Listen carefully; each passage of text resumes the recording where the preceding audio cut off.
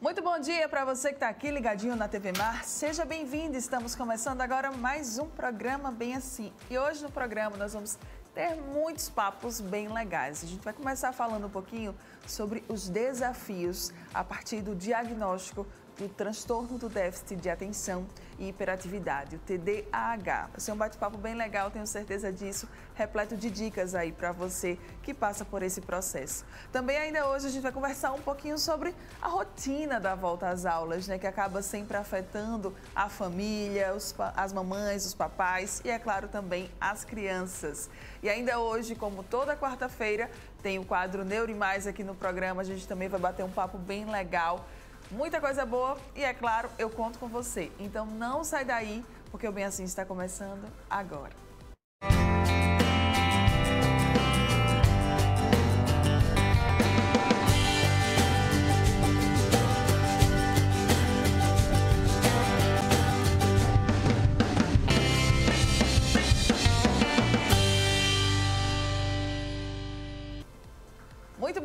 Mais uma vez para você que está aqui ligadinho na TV Mar, você que nos acompanha, nos assiste pelo canal 525 da NET Claro, pelo portal gazetaweb.com ou ainda pelo nosso aplicativo da TV Mar. Sejam todos muito bem-vindos. Obrigada pela companhia de cada um de vocês. Lembrando também, gosto de reforçar todos os dias que você ainda consegue nos acompanhar tanto pelo nosso canal no YouTube como também pelo nosso perfil lá no Instagram. No YouTube você vai conseguir rever ou assistir quantas vezes você quiser tudo que se passou aqui na nossa programação. E no nosso canal no Instagram, você vai poder acompanhar um pouquinho dos nossos bastidores. Então corre lá nessas plataformas, procura o nosso perfil, TV Mar Canal 525 e acompanha a gente. Nós estamos te esperando, beleza? Vamos lá começar o nosso dia por aqui hoje, gente. Olha só, viu? O transtorno do déficit de atenção e hiperatividade representa sim um grande desafio para pais, educadores e especialmente para as crianças que vivenciam essa realidade no dia a dia. Então, para a gente falar um pouquinho sobre esse processo desafiador, nós vamos agora bater um papo bem legal aqui no estúdio com a neuropsicóloga Fernanda Barreto. Seja muito bem-vinda, Nanda, mais um dia aqui junto muito com a gente. Muito obrigada, é sempre um prazer estar aqui. Ah, e para a gente também recebê-la, obrigada pela presença. Vamos bater então um papo bem legal sobre, esse, sobre esse tema, sobre esse assunto. Para a gente começar, vamos lá reforçar o que é, que é o TDAH? TDAH é o transtorno do déficit de atenção e hiperatividade. E muitas pessoas, Mara, acreditam que o TDAH é algo novo, é algo recente. Só que não é. Na literatura médica sempre foi observado e discutido desatenção, imperatividade em crianças, só que antes acreditava-se que isso era um dano cerebral precoce, Sim. a síndrome da criança hiperativa. E aí depois de alguns estudos a gente observou que essas crianças elas precisavam de atenção sustentada, controle de impulsos e a síndrome da criança imperativa foi mudada e passou a ser DDA de, é, distúrbio do déficit de atenção com ou sem hiperatividade. E aí, em 1987, mudou novamente e passou a ser chamado de TDAH, transtorno do déficit de atenção e hiperatividade, que é um padrão persistente de desatenção ou hiperatividade que afeta o desenvolvimento. Quais que são assim, os sintomas, os sinais, né? Que essa criança, que essa pessoa, ela tem o TDAH? Primeiro, ela pode ter, a gente tem três tipos de TDAH: o desatento, o hiperativo ou o combinado. Aquela criança desatenta é aquela criança que, por exemplo, na escola, ela estuda muito, mas ela não consegue ter um foco ali. Ela não consegue, ela quer fazer muitas coisas ao mesmo tempo, mas ela não consegue direcionar por exemplo, se manter sentada, prestar atenção na aula. Não. Muitas coisas, alguns estímulos, ela já perde o foco totalmente. Na hiperatividade, por exemplo, é aquela criança que ela não para. Sim. Muitas vezes ela está ali na sala, ela conversa com um coleguinha, ela conversa com outro, ela não consegue permanecer ali assistindo a aula. Então, a gente precisa observar. Em casa, por exemplo, é aquela criança que ela tem um excesso de energia ela realmente tem dificuldades para dormir, tem dificuldades em prestar atenção. Então, tudo isso a gente precisa observar. Como é que é feito o diagnóstico? Avaliação é preciso realizar uma avaliação neuropsicológica, que aí depois é encaminhado para o neuropediatra e em alguns casos é preciso também usar medicação, terapia e medicação.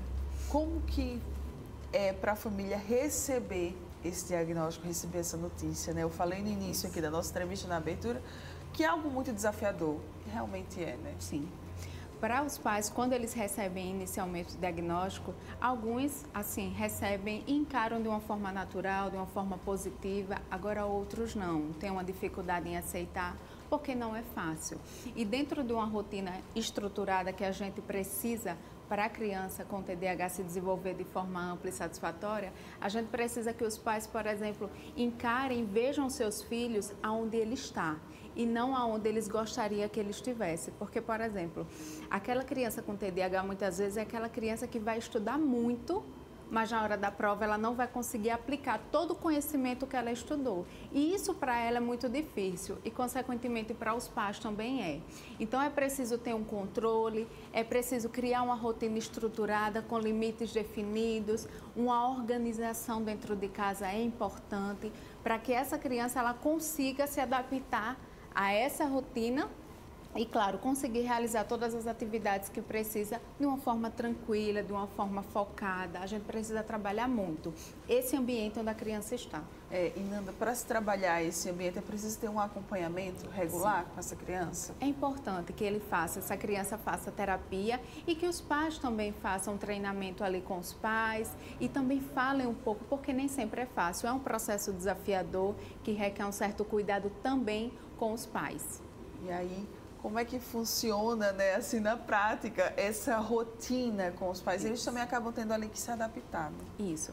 Primeiro a gente precisa trabalhar o autocontrole, porque muitas vezes os pais em casa, eles vão falar uma, duas, três vezes e a criança não vai muitas vezes conseguir fazer o que ele está pedindo.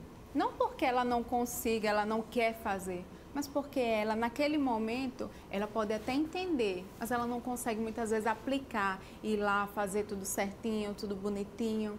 Então, para os pais, isso já é um pouco complicado. Outro ponto que a gente precisa sempre trabalhar com os pais é a consistência.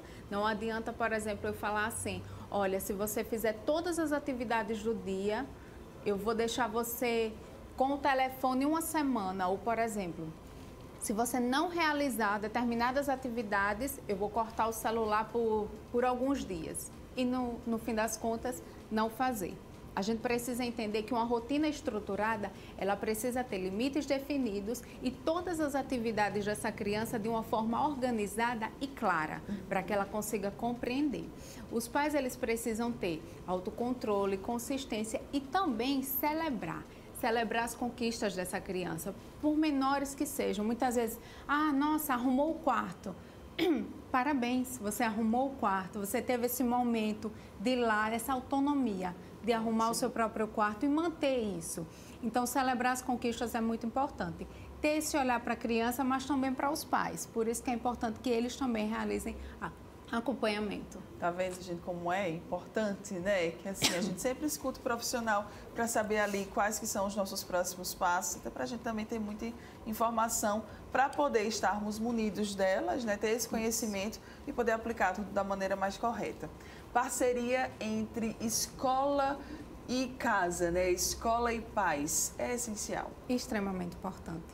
A gente precisa que a escola sempre esteja ali conversando com esses pais e pode mandar até um criar um relatório diário. Sim. É, antigamente, eu não sei se hoje ainda se usa, né? Em algumas escolas sim, outras não, que era a agenda colocar como foi o comportamento da criança, as atividades que tem para serem realizadas, porque essa criança ela precisa ver e entender, olha, eu preciso fazer determinadas atividades. Ela precisa ter isso muito claro, muito organizado. E os pais precisam ter esse contato direto com a escola e entender como o filho dele está se comportando na escola. Uhum. Porque muitas vezes, Mara, o comportamento que ele apresenta na escola é reflexo do comportamento que ele tem em casa. Sim. E muitas vezes esse comportamento é determinado por alguns fatores como também pode acontecer na escola, por exemplo.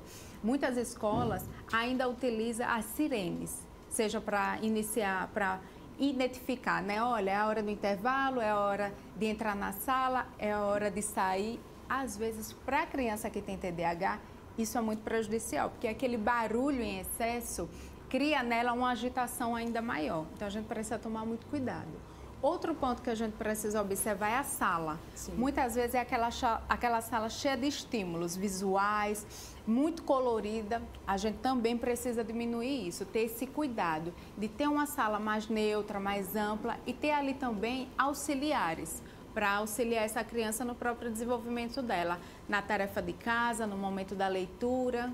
Pequenas modificações que Isso. podem ajudar bastante essa criança e que talvez nem sempre a gente tenha essa ideia, né? Tem essa, essa esse noção, olhar. esse olhar, exatamente. É importante. Sobre o aprendizado efetivo, né? Você comentou que a criança com TDAH ela tem muita dificuldade de aprender. Uh, tem alguma dica que a gente pode compartilhar para ajudar nesse processo realmente, para que essa criança ela aprenda, ela Isso. preste realmente atenção naquilo que está sendo ensinado a ela?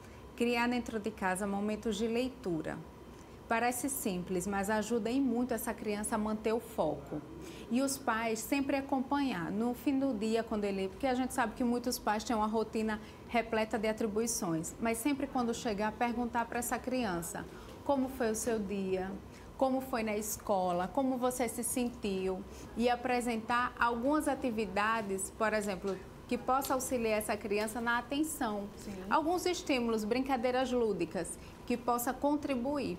E o celular, a gente precisa também ter muito cuidado com o excesso de tela porque prejudica ainda mais o desenvolvimento. Aquela historinha né, de ter um tempo de tela específico para Isso. uma determinada faixa etária realmente então é importante. Isso, a gente precisa entender que o excesso de tela ele vai prejudicar. Por exemplo, como eu sou neuropsicóloga, quando a gente aplica alguns testes, a gente percebe que crianças que passam mais de 7 horas em tela por um tempo determinado, elas têm perda de raciocínio lógico, de linguagem.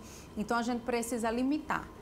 Eles utilizam a tela? O prazo máximo, vamos colocar aí uma hora, todos os dias. Caso essa criança utilize tela todos os dias, mas não exceder. Sim. Por exemplo, não deixar duas, três a tarde inteira. Não. A gente precisa ter cuidado. Nanda, você como neuropsicóloga, como é que se dá a sua atuação né, nesses casos de TDAH? A gente recebe a criança, fazendo uma avaliação, depois tem um momento com os pais que eles também são participam desse processo. Inicialmente a gente faz todo um trabalho com eles de anamnese para identificar, né, toda essa criança, a situação clínica atual dela, mas também o contexto familiar, como ela está em casa, como é a rotina dessa criança. E aí depois tem um momento com os pais de devolutiva e também acompanhamento com eles durante algumas sessões, que é importante. E esse acompanhamento, sim, vai depender da criança, né? Da evolução dela. Não tem um, um, prazo específico. Não, a gente faz a avaliação e acompanha, até porque é importante.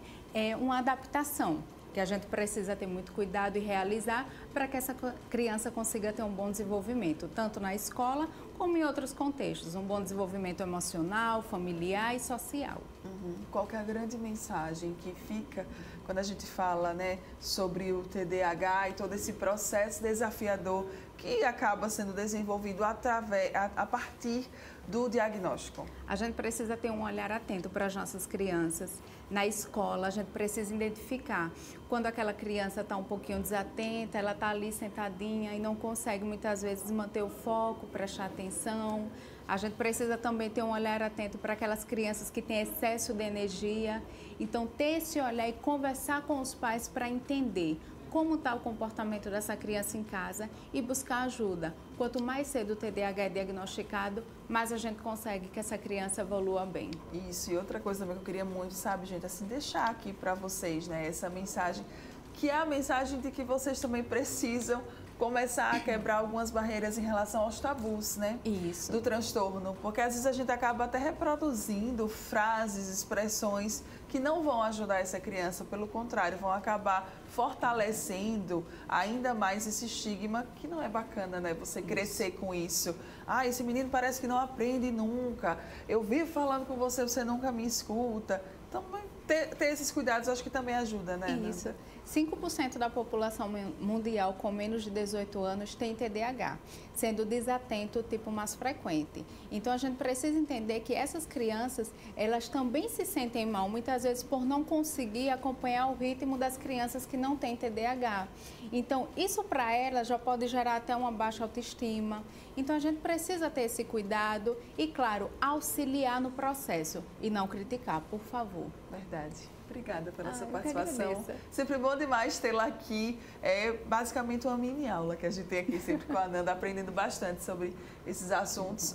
Nanda, contatos, redes sociais, né? quem gostou aqui do nosso bate-papo, quem quiser saber mais, como é que pode fazer? Pode entrar no meu Instagram, é o arroba psicologia por amor, com duas letras A no psicologia, onde eu estou sempre dando dicas, mostrando um pouco do meu dia a dia e, claro, contribuindo para que os pais em casa consigam mudar algumas coisinhas na rotina que vão fazer a diferença, tá bom? Vale a pena conferir. Com certeza. Psicologia A por amor. Esse é o arroba lá no Instagram para vocês ficarem por dentro e conferirem outros conteúdos. Obrigada pela sua ah, presença. Sempre bom demais de tê-la aqui. bom, bom dia. Você que está aqui, olha, ligadinho com a gente, vamos para um rápido intervalo comercial e daqui a pouco nós estamos de volta. Não sai daí.